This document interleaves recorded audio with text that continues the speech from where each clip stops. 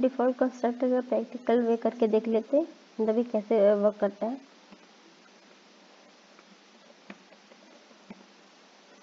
मैं इसको देर में चला रही हूँ तो आपको पता ही होगा इसमें हेडर फाइल्स अलग यूज़ होते हैं।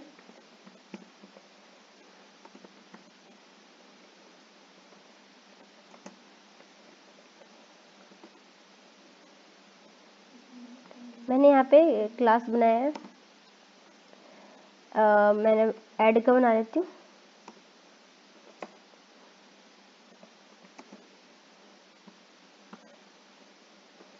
मेरी ये दो डाटा मेंबर है एम एंड एन अब मैं उसके बाद पब्लिक सेक्शन क्रिएट कर रही हूँ, जिसमें मैं कंस्ट्रक्टर को डिफाइन करूँगी।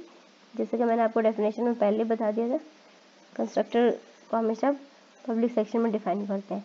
इस तरह से मैंने सेम नेम ऑफ़ ये जो मैंने ऐड लिखा है और सेम नेम है तो ये मेरा कंस्ट्रक्टर बन गया। विद नो आर्ग्यूमेंट करना था मतलब डिफ़ॉल्ट बनाना था तो मैंने नो आर्ग्यूमेंट मैंने इसके ब्रैकेट में मैंने कुछ नहीं डाला तो ये नो आर्ग्यूमेंट हो गया।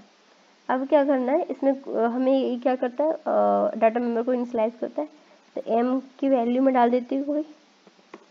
एन की वैल्यू डाल देती हूँ मैं कोई। इसके बाद मैं एक फ़ंक्शन बना लेती हूँ।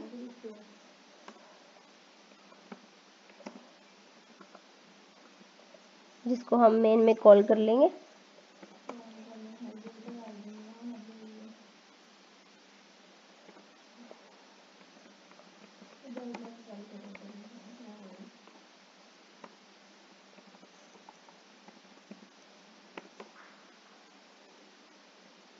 क्लास बंद करने के लिए हम ये यूज़ करते हैं। उसके बाद मैंने मैन बनाना है।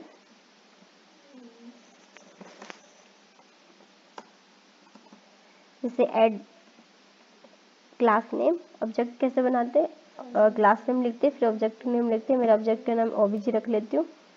विद नो आर्ग्यूमेंट है तो मैं सिंपल ऐसे छोड़ सकती हूँ। और उस ऑब्जेक्ट से मुझे शो फ़ंक्शन को कॉल करना है तो डॉट ऑपरेटर लगाना होता है। तरह से देख सकते हैं आप। मेरे को शो का आ गया तो मैं शो पे क्लिक कर देती हूँ। फिर उसके बाद मैंने इसको क्लोज कर दिया।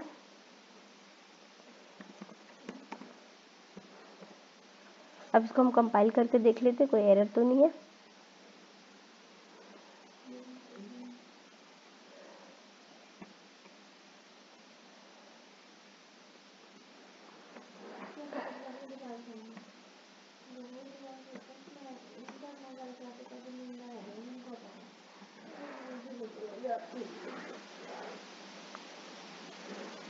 इस तरह से हम देख सकते हैं, इसमें कोई एरर नहीं है।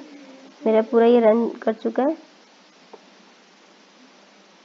दोनों की वैल्यू आ गई सेवेंटी और सिक्सटी नाइन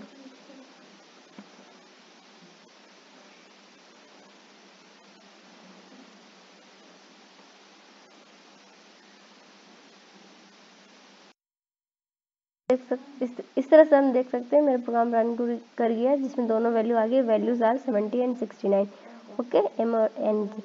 तो इस तरह से हम डिफ़ॉल्ट कंस्ट्रक्टर बना सकते हैं।